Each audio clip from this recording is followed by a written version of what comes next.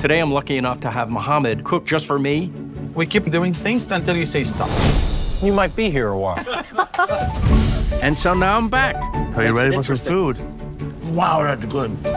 With some food that maybe you weren't expecting to find here. It's a foie gras come down. Wow. It's brain curry. This is your next serving? Hey, maybe he knows something. Just a baby step out of my comfort zone, and this whole beautiful world was waiting. Wait. This is the most excited I've ever seen anyone over an omelet. You ready, Phil? Porchetta. I'm not worthy. Is that a garlic sauce? Yes. I love that so much. What's the name of that sauce? Garlic mayo, we call it.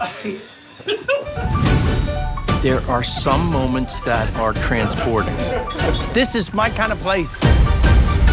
And then she says, hey, you know what's good? Camel milk chocolate.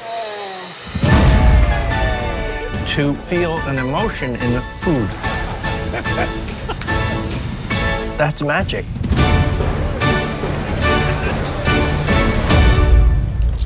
You know what I want to say?